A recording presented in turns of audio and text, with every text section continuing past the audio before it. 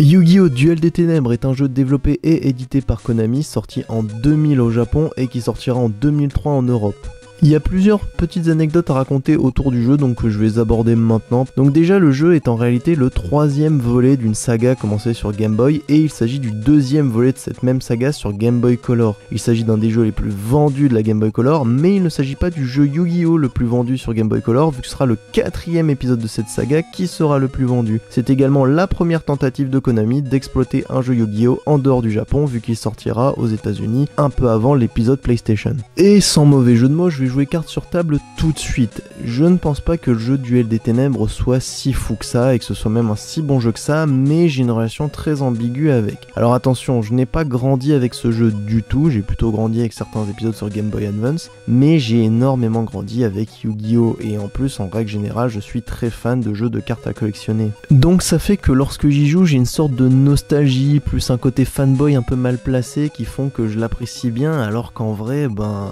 il a pas mal de mais on va d'abord parler de ses qualités. Eh bien déjà je trouve le jeu plutôt joli dans le rendu des cartes et des personnages, ça donne une petite ambiance et ça explique plutôt bien les capacités d'une Game Boy Color. Les musiques, même si c'est plutôt des musiques de fond, sont tout à fait agréables. Et en plus, eh bien, il faut quand même admettre que le jeu avait plutôt une bonne durée de vie. Et vous vous en doutez, quand on est un petit peu fanboy, c'est toujours plaisant de retrouver les personnages et les cartes. Bien, et donc maintenant nous allons un peu parler des défauts du jeu, et pour en parler, rien de mieux déjà que de parler un peu du gameplay, de l'histoire du jeu. En fait, il n'y a pas vraiment d'histoire, nous affrontons un nombre de poules de personnages, qu'il faudra chacun battre 5 fois pour débloquer un nouveau nombre de poules de personnages, pour en débloquer un nouveau, pour enfin accéder au boss final. Et croyez-moi que c'est plus facile à dire qu'à faire, parce que le jeu n'est vraiment pas équilibré, et vos adversaires ont tendance à vous rouler dessus Autant le premier pool de personnages ça va, à part Mei qui est très dur à battre, autant dès qu'on arrive au deuxième puis troisième pool ça devient un sketch. En fait la difficulté vient pas mal du deck building qui est pas forcément des plus plaisants et en plus des fois un peu handicapant étant donné qu'on a un niveau de dueliste qui permet pas d'utiliser certaines cartes avant d'avoir fermé un certain nombre et en plus eh bien on a un, on va dire un coût limité dans notre deck qui font qu'on peut pas se permettre non plus d'avoir trop de trucs gros bill même si le jeu est relativement généreux là-dessus. Sauf pour les cartes magie. Étant donné que en fait souvent si on récupère des monstres ça va, on peut les jouer, on peut même jouer des monstres plutôt bons pour l'époque, mais pour les cartes magie, eh ben on peut s'asseoir sur un cactus pour pouvoir les jouer. Mais le problème c'est que vous, vous n'avez pas le droit de jouer de cartes magie étant donné que vous n'aurez pas le bon niveau de dueliste, mais vos ennemis, eux ils peuvent et des fois ils vont vous faire des combos d'enfoirés alors que vous, vous pourrez rien faire. Et mention spéciale à Kaiba version Égypte antique étant donné que je crois que c'est lui qui m'a le plus fait criser et que j'ai le plus battu sur la chance. En plus, pour couronner le tout, il peut y avoir un truc qui peut être assez frustrant, bien que plaisant par moment, qui joue sur le fait que le jeu qu'on joue sur la Game Boy Color n'est pas tout à fait le même que celui qu'on jouait en physique, étant donné qu'ici, par exemple, nous avons des roues de force et de faiblesse. En gros, un peu à la manière d'un Pokémon, eh bien, le type feu va être battu par le type eau, qui va être battu par le type électrique, qui va être battu par le type terre, qui va être battu par le type vent, qui va être battu par le type forêt, qui va être battu par le type feu. Mais il y a une autre roue de force et de faiblesse avec le type lumière qui va être battu par le type ténèbres, qui va être battu par le type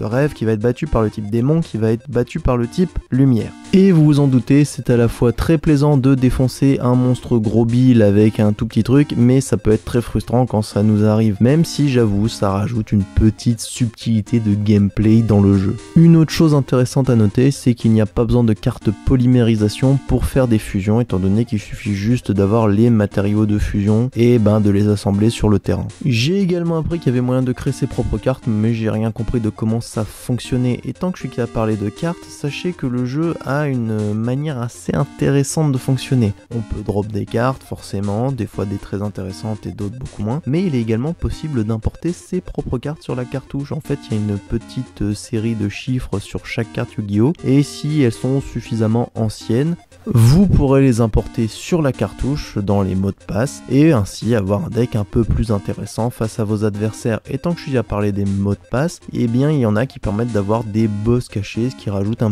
petit peu sur la durée de vie du jeu, même si je ne sais pas comment est-ce qu'on était censé les obtenir, est-ce que c'est en battant les nombres d'adversaires et qu'à un moment il nous donne un mot de passe, ça j'en ai aucune idée. Mais bon, en conclusion, je dois bien me répéter, j'aime beaucoup ce jeu, mais je pense que c'est pas forcément pour les bonnes raisons, parce qu'en réalité le jeu est affreusement difficile, très frustrant, et en plus assez même pour le jeu Yu-Gi-Oh de l'époque. Et oui, je rappelle que certains monstres ben, n'ont juste plus d'effet sur la cartouche, et même ben, on peut jouer en réalité qu'une seule magie par tour, et si elle n'a pas été activée, elle est perdue. Donc ça fait que le jeu s'adresse surtout, je pense, à ceux qui aiment bien les jeux de cartes à collectionner, qui ont peut-être une sorte de petite fibre nostalgique mal placée à ce moment-là, parce que sinon je vois pas vraiment l'intérêt d'aller sur ce jeu.